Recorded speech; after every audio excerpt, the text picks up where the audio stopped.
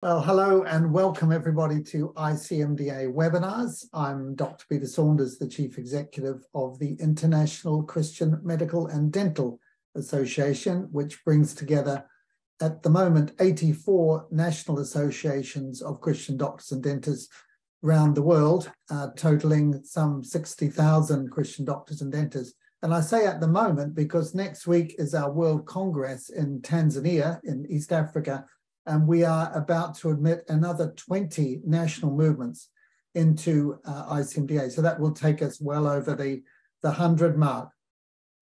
Well, today uh, on ICMDA webinars, we've got Dr. Jay Smith back as, uh, on the, the third of his series of four on understanding Islam. And today we're going to look at the life and work of Muhammad. And I can promise you there's a lot of new material here that you will not have heard before. So uh, it's a great to have you back again, Jay. And uh, on this subject, Muslim tradition teaches that Muhammad was born in Mecca and then moved to Medina, both in Central Arabia, in 622 AD. Important date to remember, 622 AD. And that during this period, Muhammad received the Quran and became the paradigm. Uh, it became the paradigm for the Islamic religion practiced today. But what do historical sources reveal? That's the question we're looking at. And this webinar is going to evaluate the historical record of Muhammad using evidence from the seventh century and before and comparing it with traditional teaching. Dr. Jay Smith has worked with Muslims since 1983. He's got two master's degrees and completed his PhD in Islamics in the areas of apologetics and polemics in 2017. Jay is one of Christianity's principal public evangelists and debaters to the Muslim world, and he travels extensively teaching apologetics for those exploring ministry to Muslims and engages the movers and thinkers of Islam on a weekly basis. He's the founding member of the Hyde Park Christian Fellowship, a week a weekly evangelism ministry to Muslims in London's public squares, and as well as a co-founder for the Pfander Center for Apologetics. He is also the director of MAPI, M-A-P-I, which is a new master's in the apologetics and polemics of Islam. This uh, is coming out of Veritas University in California, and you can do it uh, online over two years, uh, Monday nights, and I can promise you that is a, a brilliant new program, and there'll be more information of that when we write to you after the webinar. But Jay, just a pleasure to have you back again today, and we look forward to uh, more uh, enlightening stuff on the history of Islam. Thank you. Great. Thanks, Peter. Let's get right into the PowerPoint. And as you can see, we're going to be looking at the importance of early Islam historically. Now, this uh, is another way of saying we're going to be looking at Muhammad. This is the newest research on the historical problems with the Islam's origins, which is an area very few people have looked at. And that's why, for many of you, much of what I'm going to say uh, today is probably new. Three areas that we are investigating in this series of lectures. The first one we did earlier was looking at Mecca, a historical assessment of Mecca. Today, we're going to be looking at a historical assessment of sources and early Islam really looking at who is this Muhammad, where did he come from, and did he actually even exist, which is a huge question to ask. And then the next lecture will be on a historical assessment of the Quran itself. Now, that could be a, an entire series of lectures in and of itself. The Quran is such a big area, a big subject, but that will wait for later. Remember what we said earlier in the last lecture Islam is completely dependent on three things the book, the man, and the place. The book being the Quran, the man being Muhammad, and the place, Mecca itself. Those are the three things. You take away any one of those three and question them historically, and the other two come cascading down. Since these three areas are foundational to Islam, we should investigate them. But listen, I don't want to investigate them from the what the people in the ninth and tenth century people, uh, said. I want to go to the period where these three existed, the seventh century, in the place they existed, which means the central part of Arabia known as the Hijaz. So let's continue by looking at the problem of sources. This is why, in some ways, this should have been at the very beginning, but I want to bring it in this lecture because that before we move on to Muhammad, we need to look at where all our material concerning him and early Islam, where it all originated from. All right, so let's begin with the problem of sources. Where did what uh, what we know about Islam, about the book, the man, and the place? Where what are our sources? Here's the map uh, that shows you what we're looking at. When you look at the central part of uh, of well the Middle East and North Africa, according to the Islamic traditions, according to standard Islamic narrative, Muhammad's empire encaped, in, uh, encaped or encased that brown area that I'm pointing to right now. And that was the area. This is what Islam tells us. This is not what I'm saying. This is what Islam tells us. That area existed under Islamic control by the time he died in 632 AD. After he died, uh, you have Abu Bakr, Umar, Uthman, and Ali, the four rightly guided caliphs, and it moved into this area, the orange area. And that was about, we know that as the Rashidun period, the golden age of Islam, as Muslims tell us. And that was roughly a 30 year period from 632 to 661 when Ali was then killed at the Battle of Siffin. And Muawiyah, the first caliph of the Umayyad Caliphate, then took over and then expanded the borders during the Umayyad dynasty from his period, 661, up until 750, so roughly 90 years. It moved into what is the purple area. And that's what we're looking at. That's all I'm concerned with is what you're looking at the map now. Really, I'm not concerned with the purple area. That's too late. Uh, well, parts of the purple area, yes, but I'm more concerned with the brown and the orange area. That's where the story had took place. That's what uh, how Islam began in that area. So let's really zero in to that brown and the orange area. And let's look at a timeline because this is what Muslims tell me. This is the only story you ever heard. This is the narrative from the standard Islamic narrative uh, from the Islamic traditions concerning Islam's emergence. Islamic traditions tell us that Muhammad was born in 570 AD in Mecca, uh, that the Quran was revealed starting in 610 AD, and that in the 621 AD, in the middle of the night there in Mecca, Muhammad was woken up, told to get on the back of a winged horse by the angel Gabriel, and he flew up on this winged horse called the Buraq up to Jerusalem, where he then ascended the seven heavens up to meet with Allah. And Allah told him to pray 50 times a day. He comes down to the fifth heaven. Moses is in the fifth heaven and uh, says, How many times did he ask you to pray? He said 50. So he says, No, go back and see if you can get it down. So he bounces back between the seventh and the fifth heaven and brings the prayers from 50 to 45 to 30 to 15, 10 down to five prayers.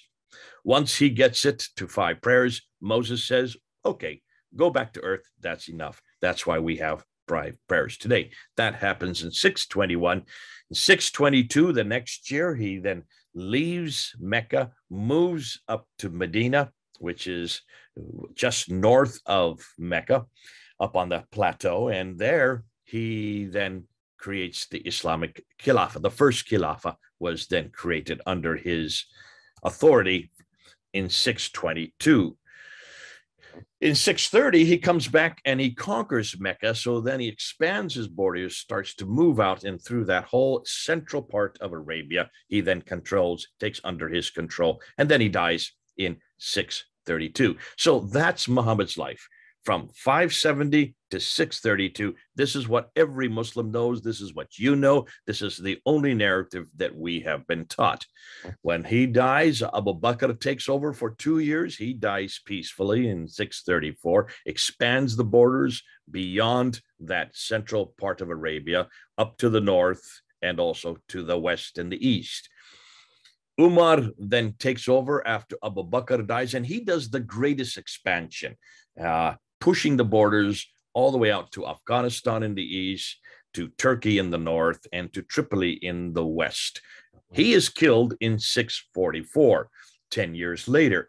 Uthman then takes over, and Uthman uh, is, part, is the one that's best known as the one who then compiled the Quran in its complete form. So the Quran we have in our hands today is uh, his, and of course that happened in 652. He is then killed in 656, and Ali, the adopted son of Muhammad, then takes over, and he only rules for five years. All of these four men are there in Medina. That's where the headquarters is. That's where they're ruling. And then he is killed at the Battle of Siffin in 661 by Muawiyah, who then creates the Umayyad dynasty. So that is the story of Islam. There you have it on a timeline, visual, so you can see it. That is their story, not my story. But of course, that's the only story you have. Now, Islam was therefore fully formed in the Hijaz by 661. Here's the question How do we know all of the above? How do we know everything that we're looking at? How do we know any of those instances or any of those historical events? Where does the material come from that, that's, that talks about Muhammad's birth or the Quran being revealed or Abu Bakr, Umar, Uthman, and Ali? Where do we go to find out about all this material? You'd like to ask, right? Well, let's look. Let's put another timeline on and let's see what this timeline tells us. Now, according to what Islam tells us this is their again this is still their material. I'm not making this up. Everything i'm going to be saying comes straight out of their traditions that this is what the tra- traditions tell us that muhammad dies again in 632 we know that. And how do we know it? Because of the biography of muhammad known as the sirah and the sirah is force was first written by this guy here ibn ishaq. Notice his date when he died he dies in 765 AD. Ooh, hold on a minute. Muhammad dies in 632. This is 765. That's 130 years after Muhammad's death. We get the first biography of Muhammad written down. But hold on a minute. This book here that I have in my hand, I don't know if you can see it. This is his book. This is the biography of Muhammad. This is what we're told. All of us are told that this is the book that Ibn Ishaq wrote. In fact, it even says Ibn Ishaq. There it is on the cover. But this is not from Ibn Ishaq. None of it is from Ibn Ishaq. It all comes from this guy here, Ibn Hisham. Look at his death date. He died in 833 AD. Ibn Hisham is the one that gives us the story of Muhammad. He takes, he claims that he takes some of what Ibn Ishaq says, threw out much of it because he didn't trust it, and only wrote down what he wanted. So, really, the biography of Muhammad does not come from Ibn Ishaq, it comes from Ibn Hisham. So, let's throw away Ibn Ishaq. Don't need him because we have nothing written by him. Now, there's another biography, Al Waqidi. He dies in 835. Uh, but do you notice how late this is after Muhammad? All right, just look at the dates. Now, for Muslims, the Sirah is not that important. What's more important are the hadith. These are the sayings of Muhammad, and they were first written down by a guy named Al Bukhari. He died in 870. Uh, another one is Sahih Muslim. He died in 875. Another is Tirmidhi, 884. Al Majah, Ibn Majah, 887. Abu Dawud, 899. And Nisai, uh, 915. Before I get into that, those are the sayings of Muhammad. I have them in blue, a different color, so you can see them easily. And you notice that they are 240 years after Muhammad's death. But that's still not the rest of the traditions. You have two other forms known as the tafsir and the tarikh, the commentaries and the histories. And the first one to write that genre of material down is Al Tabari, who died in 923. That's the 10th century. So the earliest we get of anything written about Muhammad or early Islam, about anything that's happening on the emergence of Islam, comes 200 years after Muhammad's death. I want to put up Abdul Malik here because he comes in 692 and he is the one that introduces the name Muhammad. He puts it on the dome of the rock, he puts it on the inscriptions and also also on the coins. We're going to talk about him later. That's 141 years before Ibn Hisham writes it down. But he has that intervening 140 years where Muhammad's name starts to take shape. But it's these people, the Abbasids, who come to power in 749, 750, who are actually the ones that give us the Muhammad we have today. They are the ones that introduce the narrative you all read today.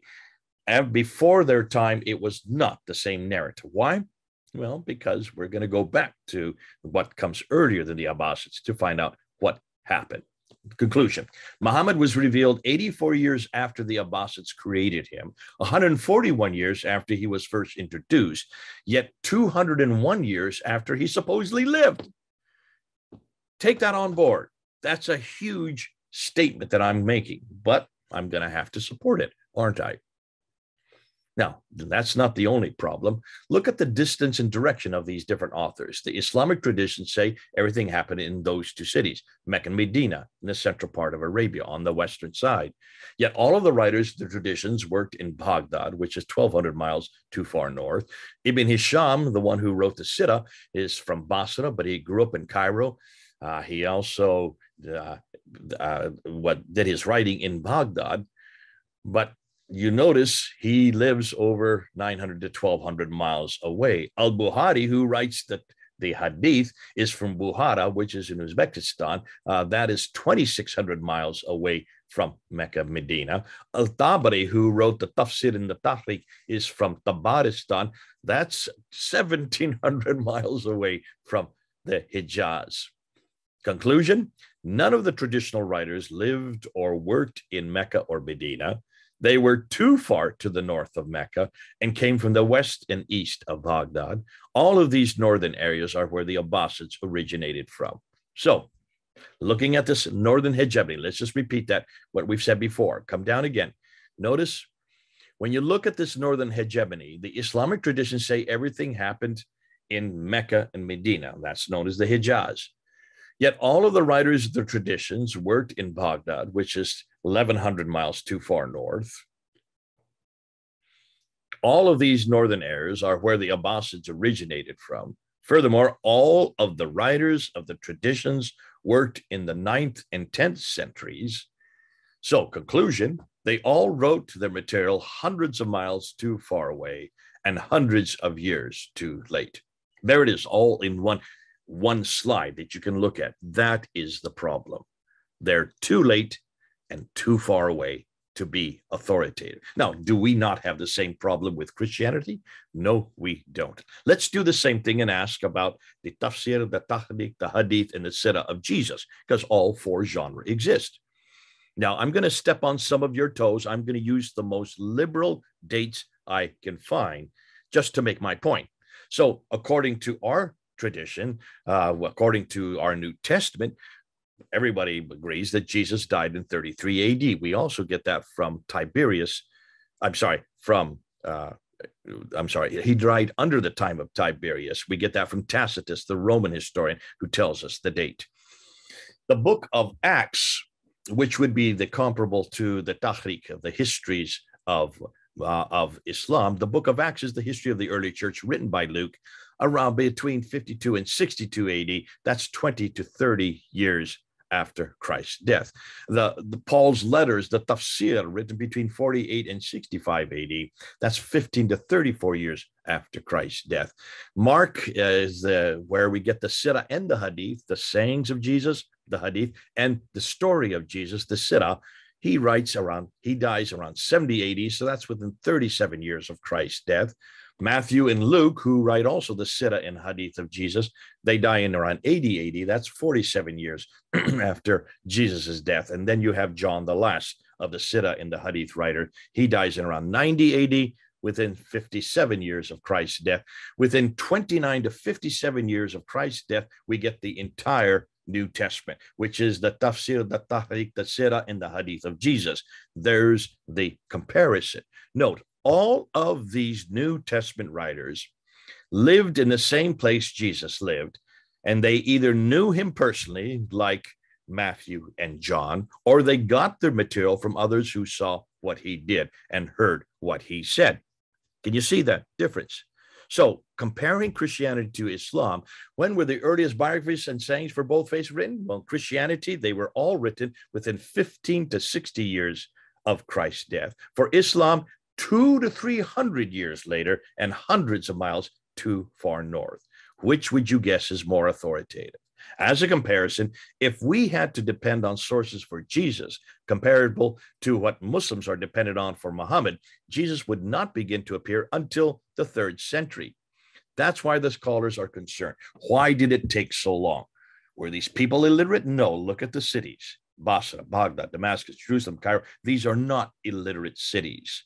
Where did the where did these ninth and 10th century traditional compilers get their material? Can we trust it if it's so late? Shouldn't we go back to the seventh century and to the place where these events happen?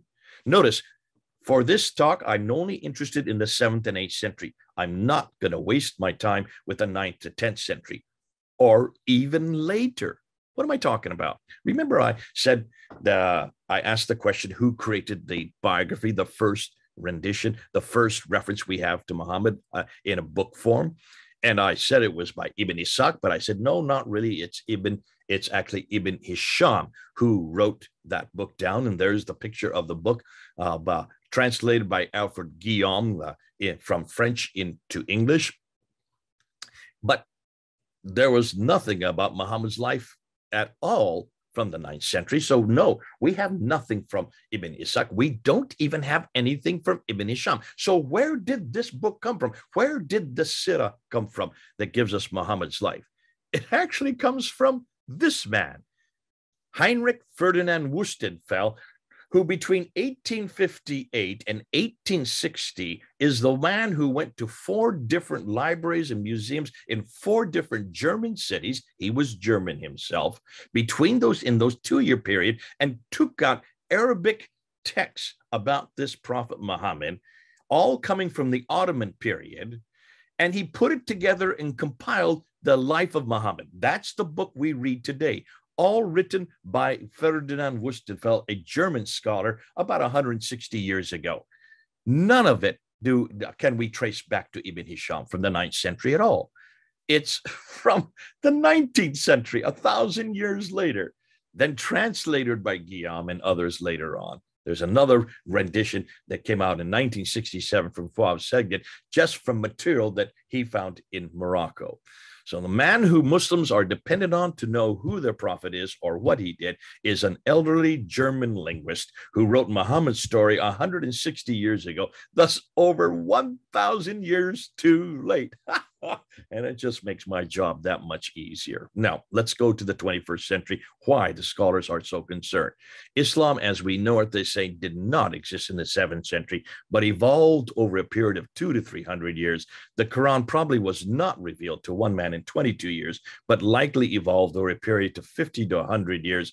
Conclusion the history of Islam, at least by the time of the Caliph Abdul Malik and before, is a later fabrication. So, let's go into the problem of coins, using coins. Let's use some evidence to support what we're saying. Why are coins important? Well, the Lydians were the ones that introduced it in 600 BC. They were used for more than just commerce.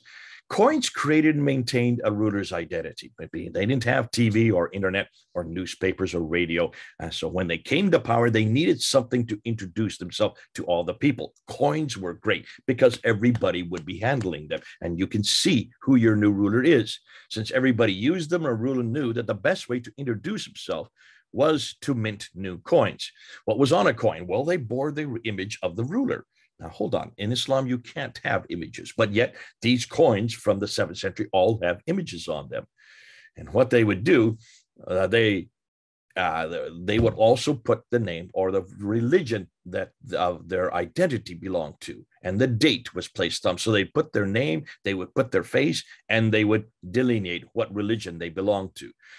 These were then minted in the different mints in their empire. So that's why we need to look at coins. Coins are great because they're made out of metal. They don't deteriorate. They don't disintegrate. So problem for the numismatists who are looking at the coins from the seventh century is that many of them are looking at these coins they're they're having a problem because they're trying to impose the islamic tradition the standard islamic narrative on these coins and they're just not making any sense that's why they have many of them are now having to reassess and look just at the coins. I've been asking many numismatists who've contacted me in the last three years Please stop imposing the Islamic traditions on the coins. Just read the coins. Tell me what you find. And that's why we need to look at the coins. Dispense with the Islamic traditions. The task of any numismatist or a historian is to read what they're finding in front of them from the time period and the place that we are looking or are curious. Now, the numismatists lament that there doesn't seem to be any coins at all from the Hijaz where all this is taking place. Interesting, right? When you look at the mints, now these are the mints uh, that, according to Islamic tradition, should be down in Mecca and Medina, because that's where the caliphs they were living in Medina. They were ruling from Medina. They controlled from Turkey in the north down to what is Yemen today in the south, from uh, what is Tripoli in the west, all the way over to Afghanistan in the east. All that land was under control. They had the mints. They were the ones producing the coins. Their names should be on them. Their faces should be on them. Something Islamic should be on all these coins. No mints whatsoever down that far south. Look at the mints and look and see where they are. Sorry, I'm going the wrong direction. Where are the mints? Tartus, Hims, Baalbek, Dimash, Tabaria, Abilia, Beisan, Jerash, Amman, Yumna, and Ilyat. Those are where the mints are in the west. That's up in Lebanon, in Jordan, and in Syria, and in what is today Israel, too far north, 600 to 1,000 to 1,200 miles too far north. Now, the ones in the east are in, in Susa, Dash, Bishapur, Harajan, Tanbuk, Khazarun, Istakar, Darabjir, Adarshar, Kura, and Kavat Kura. I'm desecrating the language. My, my apologies. But those are all in what is today Iran and Iraq, too far to the east and too far north again. Nothing from Mecca and Medina. And why? Well, possibly because no one was living that far south. We don't have any reference, as we saw before, of Mecca, and there's no water down there. So there's no people, no people, no towns, no towns, no cities, no cities, no civilization, no history, as I said last week. So it's obvious when you look at the map that all of these mints would have been under the authority of an Arab leader or caliph in the seventh century, including any Muslim caliph. Yet none of these mints were from the Hijaz. Instead, they were all situated too far north. So let's use a timeline and look and see what we find about the coins. Muhammad dies, but there are no coins, no Islamic coins exist during his time, nor during the entire Rashidun period. There is nothing Islamic about any coins from 624 to 661. Oh, there are coins. We know in the Sassanid Empire there are coins. These are Arab coins, and yet, but they're all Christian. Take a look. These are the coins that are coming from that era and from those places. Notice there is a picture of the rulers but they're all holding crosses. All the coins from 622, 624 up to 661 are Christian. None of them are Muslim. Why would, if it was a Muslim, they would have names like Abu Bakr, Umar, Uthman, and Ali. No names, those four names don't exist at all. No one called Muhammad exists on those coins. When we get to the time of Muawiyah in 661, so now we're 30 years after Muhammad died, after the caliphate was introduced, he then introduces his coins. And here you see, here he is. There's a picture of, of Mu'awiyah with a cross above his head. He's holding a cross. There you can see him on the right, and that's a very famous coin. He has a cross above his head. If you look at the one on the far right, there's the name Muhammad below the cross, below the M with the cross above it. Muhammad is the name for Muhammad, the praised one. That's what it means. So, who is the praised one here? Well, not Muhammad the prophet, obviously. Who do you think that is? Who is? Well, everybody called himself the praise one. Those are his coins. Over in the east, he introduces these coins. Uh, then they have the Zoroastrian fire altar on them, suggesting very clearly that nothing Islamic whatsoever on any of these coins. I just want to show you this inscription that we have put together. Here is an inscription in Taif, and it's written in Greek and in Aramaic, not in Arabic. Well, that's interesting. It dates to around 663. And notice there's a cross right there. A cross. What's a cross doing on a Muslim inscription? There's the reference to Mu'awiyah, the servant of God and the commander of the believer. What God and what believers? Well, look at the cross. He is a Christian. He is not a Muslim. The Umayyad Matir, uh, uh, Caliph, the first of the Umayyad Caliphs, was not a Muslim at all. That and that is not till we get then to Abdul Malik. Abdul Malik introduces the coin on the right. On the left, you see the Byzantine coins. On the right, he does he mimics the Byzantine coins and mocks them, takes the cross off their orbs, take and desecrates the Byzantine cross on the back side. Uh, Justinian II goes to war with him because of that coin, loses the war. Abdul Malik wins the war and introduces this coin with a picture of himself holding a sword. Here you see the Shahada is introduced. La ilaha illallah Muhammadur Rasulullah. There is only one God but God, and Muhammad is the praised one with a mockery of the Byzantine cross on the back side. That's in 693. So he's still on the coin. His image is on the coin. His name is on the coin. And then finally, he introduces these coins in 696. These coins, I don't have time to unpack it. They are all reference against and attacking Jesus Christ. Say not three, God is one, and he has no son, for God does not begetteth, nor is he begotten. There is only one God but God, and the praised one, of course, who is the praised one in this case? It would be Jesus, because it's all attacking Jesus. It's attacking his divinity, attacking his trinity, uh, attacking the sonship of Jesus say not three, say, uh, say not three, for God is one. And then, of course, he says the praise one is nothing more than the messenger. That's introduced on 696 and all the coins after 696 that have those nomenclatures. So, can you see? As we're looking at this, you can tell, just look at the review here. You can see all of this has to do with the sequence of how then Islam was finally introduced, possibly sometime during the reign of Abdul Malik or later. Why do I say it later?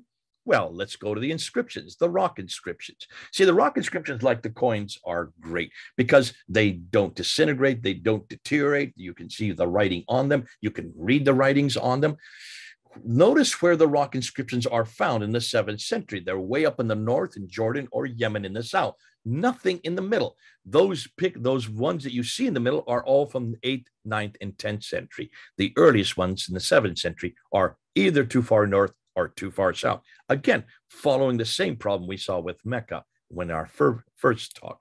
Now, the most famous inscription is the one I just told you about, the Mu'awiyah. Here you have him, and he talks about himself. He gives his name there as a servant of God. Obviously, he's nothing, there's nothing Islamic in any of these inscriptions. It's all about the believers, that's the Christian believers, and it's him being a servant of their God. Ilkka Lindstedt has done the most work on the inscriptions. Uh, he wanted to look at sorry let's go back. Uh, he looked at 100 rock inscriptions. Actually he's looking he there are 30,000 these inscriptions but he wants he looked at the most famous ones 100 rock inscriptions dated from 640 to 740 that's that 100 year period just after the time of if muhammad did exist when he would have died up until the time when the abbasids were about to take over. So it's during the umayyad period. He noticed that prior to 690, there were no evidence of anything Islamic on the inscriptions. Except for formula, everything comes after 690.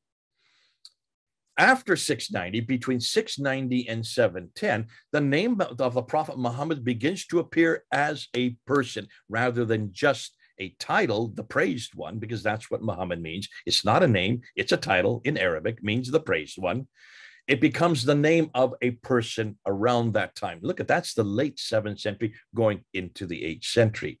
From 710 to 720, you start starting to see the Muslim rites start to appear, like the pilgrimage and the prayer and the fast. And then it's not until 720 to 730 that the names Muslim as a people and Islam as a specific group begin to appear in contradistinction to Christianity.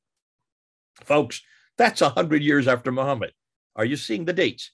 We're well into the 8th century before we finally see a Muslim entity or an Islamic religion start to really take shape. And it's the ending of the Umayyad, of the uh, Umayyad dynasty, just leading up into the beginning of the Abbasid in dynasty. It was only in the 730s onwards that there is evidence of a popular devotion to Muhammad as a prophet and messenger, which makes the Islamic traditions incredibly awkward. Furthermore, there is a hundred years silence prior to this that indicates that Islam did not exist as a distinct religion until long after the time of Muhammad, which casts doubt on whether he had any part in starting Islam.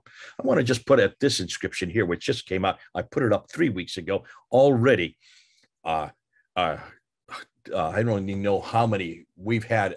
If you look at, we've had over hundred, almost uh, over 160,000 people have looked at this video in just the last three weeks. That inscription is from Taif. It's above Mecca.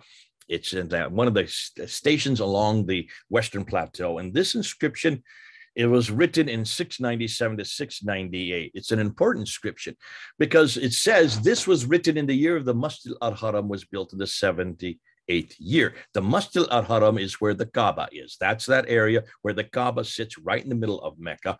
And it's saying that it was built. That means the whole area, including the Kaaba, was built in 78th year. 78th year means what? The 78th year from the Hijrah, which would be 622 which may put, put it around 697 to 698. That's enormously damaging because that suggests, therefore, that the Masjid al-Haram is was built at that time. Now, Muslims are trying to push back by saying it means rebuilt. No, those are two different words.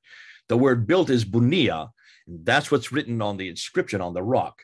It is ueda bina wuha would, would have to, would mean rebuilt, and that's not written on the rock there. Thus, it was constructed during the time of Abd al-Malik, who ruled from 685 to 705, and not at the time of Adam Eve, as Muslims like to tell us, or even during the time of Abraham, and certainly not even at the time of Muhammad. This is really damaging. Go see the video that has been put up on this. Conclusions. We need to come to conclusions so that we can wrap it all up. When all is said and done, the premise where is there any evidence for Muhammad in the seventh? That's what we're asking. Remember, that's what we want to ask. Now, the coins prove that there is no evidence of Muhammad or the Quran or a city called Mecca or of people called Muslims or of any religion called Islam until 692, which is 60 years too late, at least from the historical perspective. The 30,000 rock inscriptions, which have been researched so far, all of which are north and not in the Hijaz, show that prior to 690 AD, there is nothing Islamic in any of them. And that an evolution of Islamic thought and practice can be noted between 690 and 730. That is way too late. That's 60 to 100 years after Muhammad died. Much too late to support the Islamic traditions all of the seventh to eighth century references to Muhammad.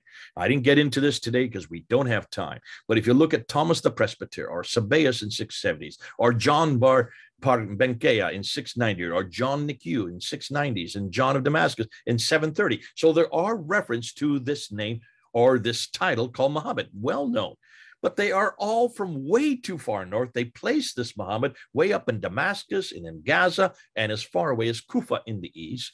Therefore, they're referring to another Muhammad, or they are all written way too late to be worthy because they are not written in the seventh century. The Ashtiname letter is a 16th century forgery. They're in the monastery St. Catherine's Monastery, redacted back to Muhammad by monks in the St. Catherine's Monastery in order to protect themselves from the surrounding Muslim horde. So it's a 16th century forgery. The constitution of Medina, the Muslims pushed for to prove Muhammad exists, is not from Muhammad at all, but was created by Ibn Hisham in 833 and then redacted back to Muhammad. The doctrine of Iacobi has nothing to do with Muhammad, but is about another man from that time, possibly Umar, who is well known. And he is the one that takes over Jerusalem, but he is a Jew from Hira, which is in Iraq today, too far north, wrong religion, and the wrong place. The four references to Muhammad in the Quran really only refer to the Blessed One. We haven't time to look at the Quran, but they are, and almost three, and uh, there's only four references to his name in the Arabic. And they could be almost anyone. In fact, three of them possibly could be referring to Jesus himself.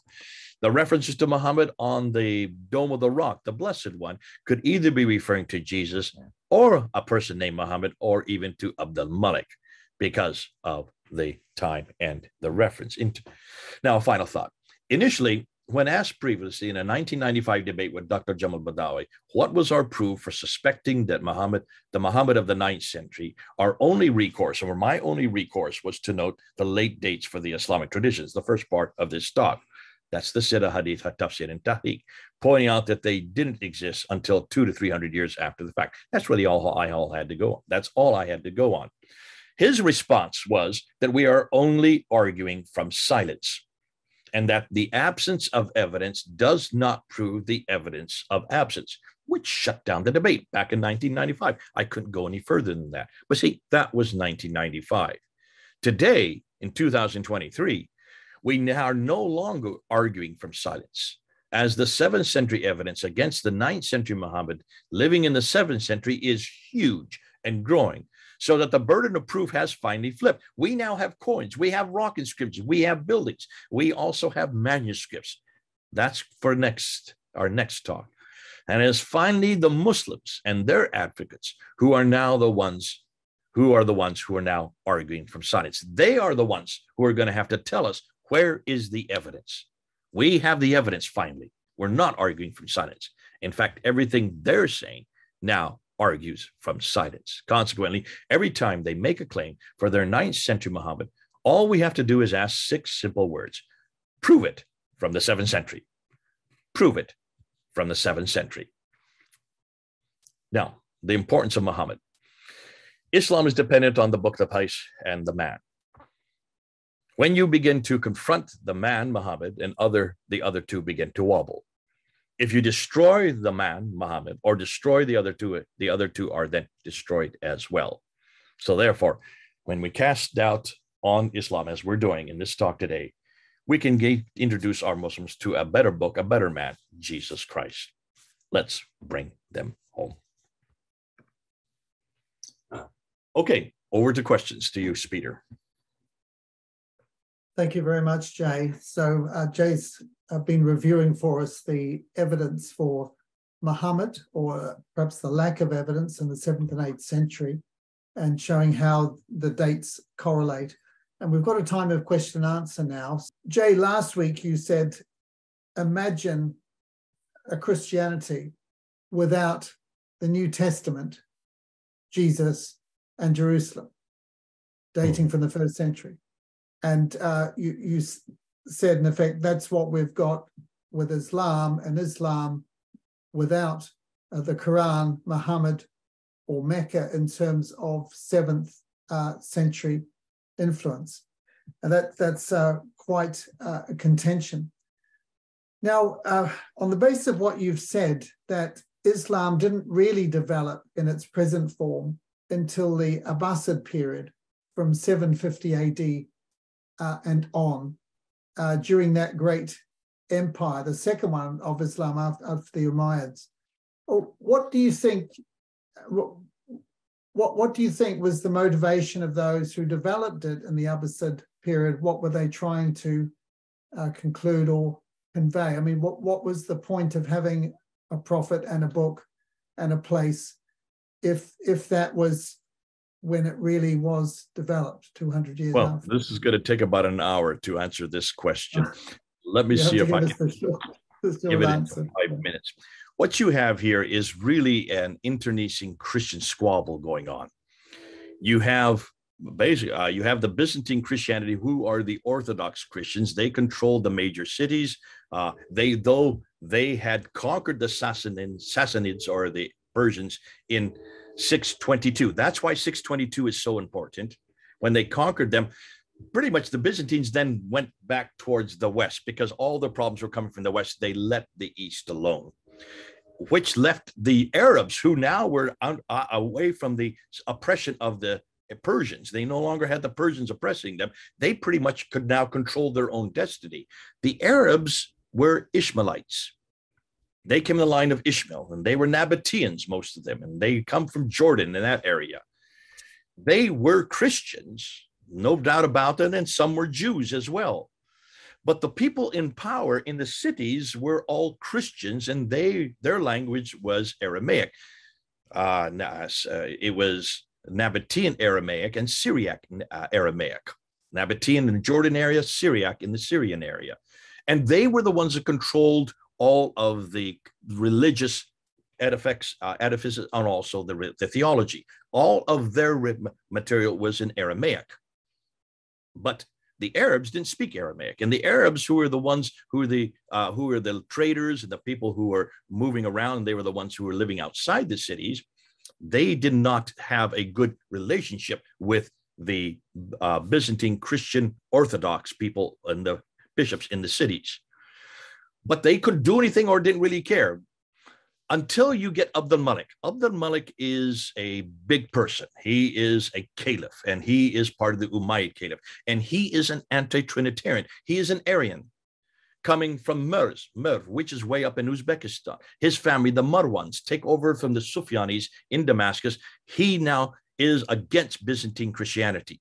So his whole premise is against the Trinity and against the divinity of Jesus.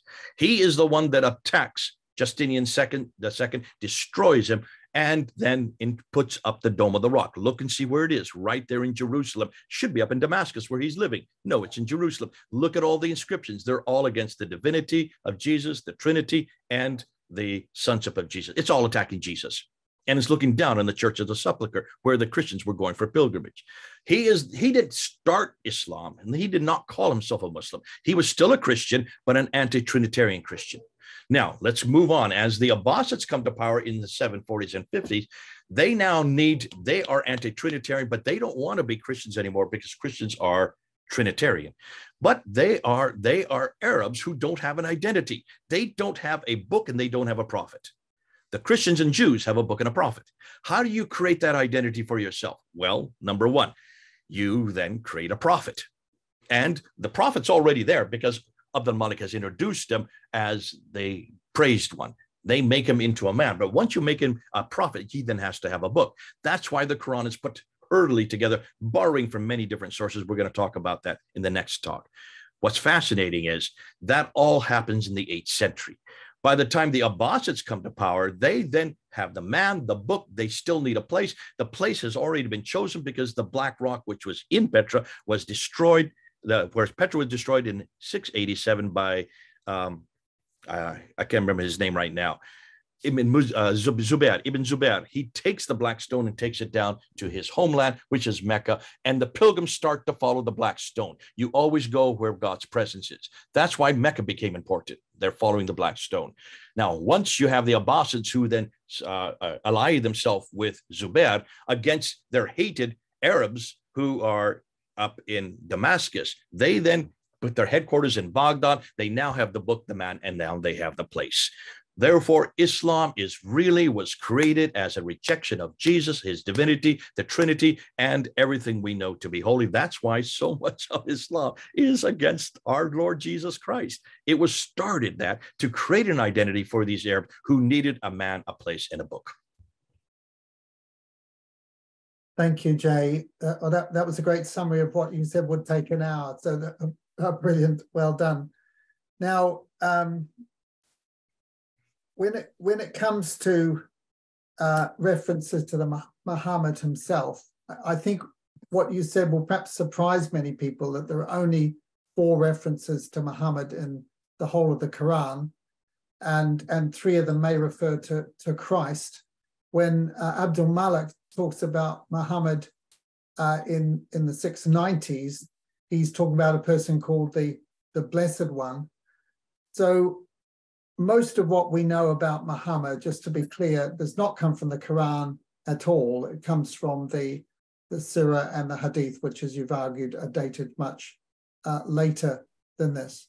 So, what does the evidence tell us about uh, who Muhammad was? Uh, was he uh, a, and I mean the evidence outside the, the Quran and the Hadith. Was he a military leader, a prophet, a political leader, or perhaps even a, a person who did not exist and was uh, created late later on to unite an empire and give it an identity? Well, you know where I'm going to go with that. He didn't exist at all. There was no Muhammad. There were many Muhammads. There were many people use that title. Uh, Umar used that title.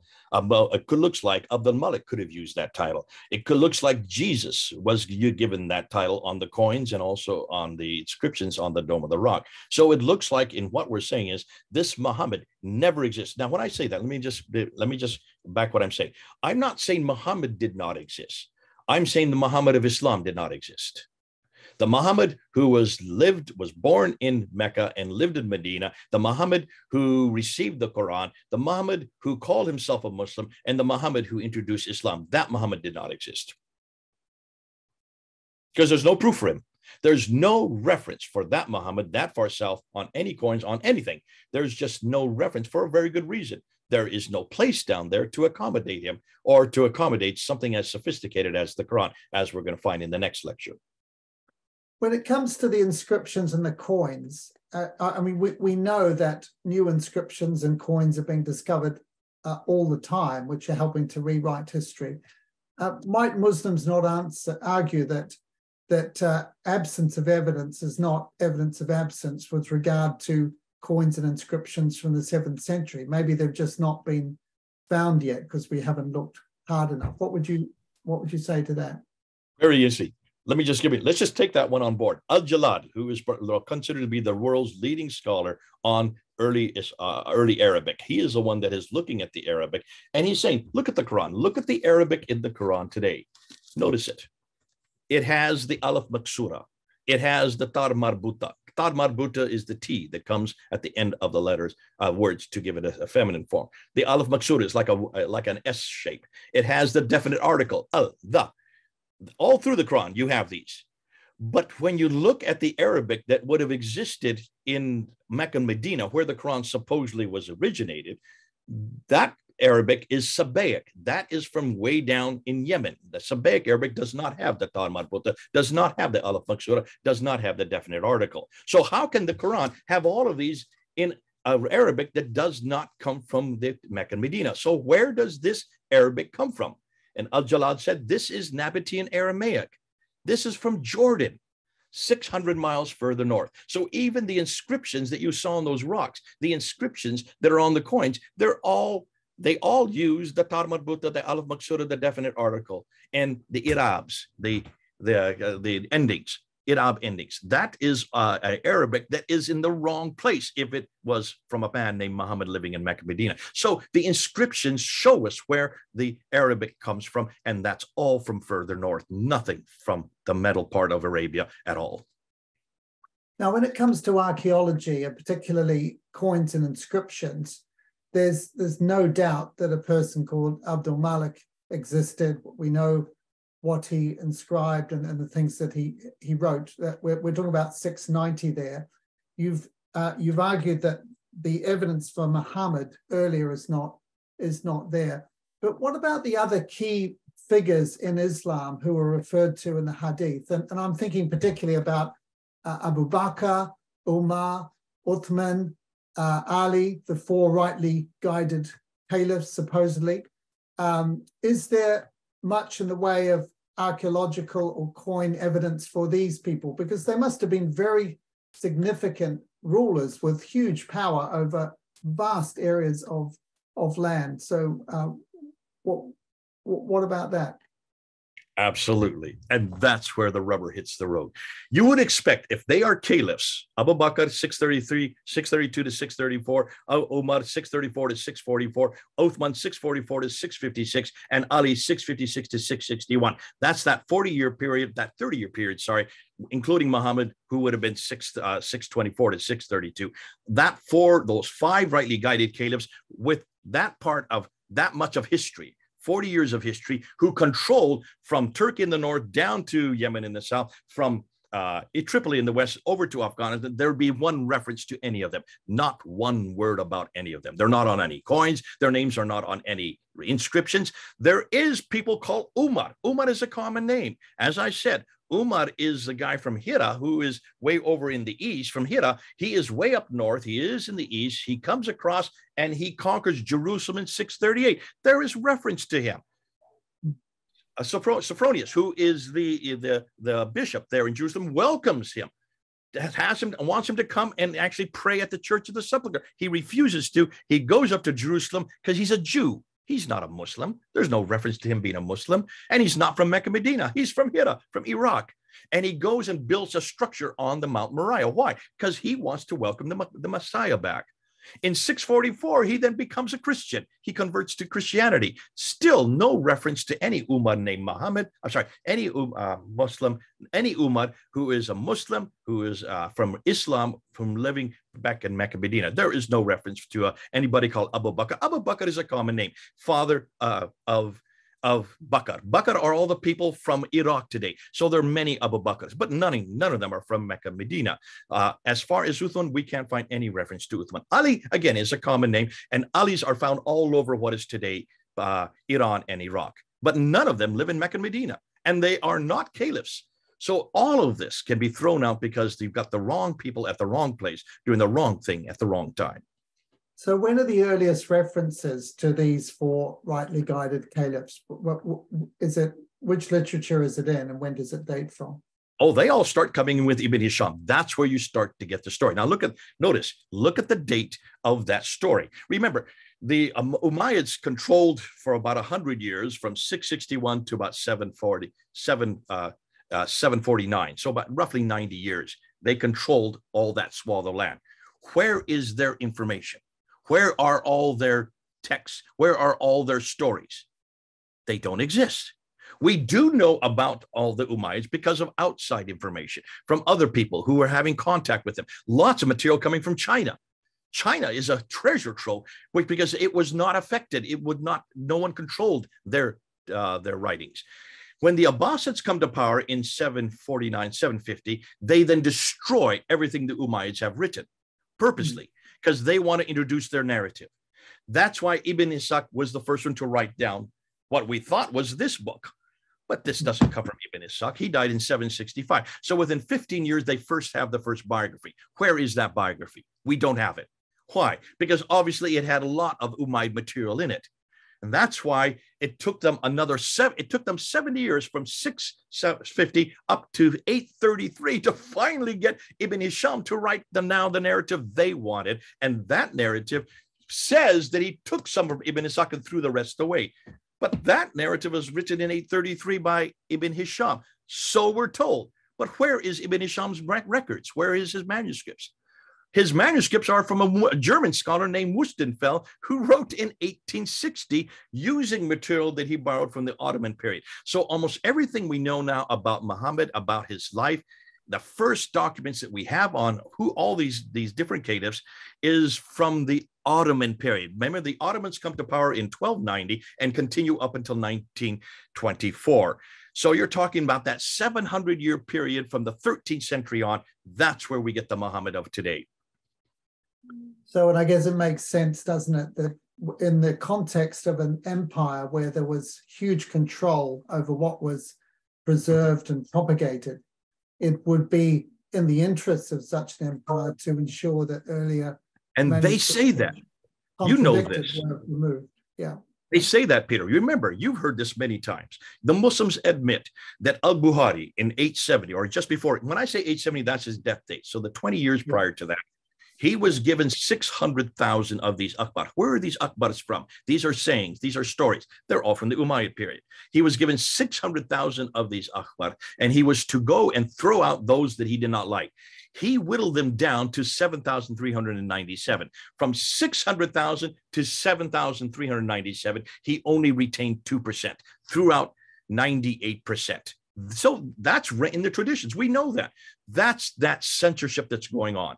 So that wholesale censorship of throwing out anything they did not like and introducing their own narrative about their man, their book, and their place, all was introduced by Al-Bukhari, Sahih Muslim, Ibn Dawud, Tirmidhi. They all are introduced in the 9th and 10th century, and it's all happening in Baghdad, not in Mecca, not in Medina. It's two hundreds of miles further north and hundreds of years too late. Now, as we know, the two major branches of Islam. So you've got the the um, the Sunnis, of course, who look right back to all four rightly guided caliphs, don't they, in the Quran and the Hadith. And then you've got the the Shias who look back to Ali alone. They don't forget the first three, but but both of those major branches of Islam go back to these four people for whom you say there is really nothing in the way of, of historical evidence uh, from the period that we're talking about. So that that leaves big question marks for both of the major branches of Islam, does it not? Yeah, absolutely. And look and see. Sunnism and Shiism have nothing to do with theology. It all has to do with politics. It all has to do with succession. Who then takes the mantle of the prophet? Well, this is a much later dispute. This is not a dispute that was happening in the seventh century. This is a dispute that was happening with the Abbasids. The Abbasids are the ones who are the Persians. Remember, they are the ones who are the Persians, and they would like the succession to come from Ali. So that's why this is introduced in the ninth and 10th century while they're in power. That's why it's so important that you put it in the right perspective. It's a political power play as to who should be the one in charge. It should should it be from the line of the prophet, since he didn't have any. Well, he had two sons, but they died in child at, at a young age. He only had four daughters, so therefore he needed to have a uh, inherit. Uh, he needed to have an heir. That's why Ali became that heir. He was an adopted son. That's why the whole thing was: should it be from the uh, timeline of Ali, or should it be from the ulema, the scholars, those anybody who was who could uh, be uh, who is in who is in authority? And of course, the Sunnis said it must be somebody in authority, not from Ali's lineage. That's so it's a political power play. That's why the whole Sunni Shiite divide is a much later political problem. There, it makes sense. It fits perfectly in the 10th, 11th, and 12th century, not in the 7th century. Fascinating. Well, uh, very sadly, we have run out of out of time, but you've given us a huge amount to think about. But Jay will be back with us on Thursday, the 29th of June, for the final session of the four on understanding Islam. And there we'll be focusing not on Mecca, not on Muhammad, but the, the Quran itself, and in particular looking at the manuscript evidence for that and asking the question uh, was it ever changed and when was it written and finalized? So uh, thank you very much, uh, all of you, for coming along and contributing, for your, for your questions, for your presence. Uh, do spread the word. And, and thanks uh, so much, Jay, for your time and uh, input today. It's been incredibly stimulating, and we look forward to hearing the fourth of the series. And if you've only just heard this one and missed the first two, let me encourage you to go back and look at them. They're all available on our website. This is uh, largely new material that we're looking at here today. So on behalf of all ICMDA uh, and the team, uh, may the Lord bless you, and we look forward to seeing you again on ICMDA webinars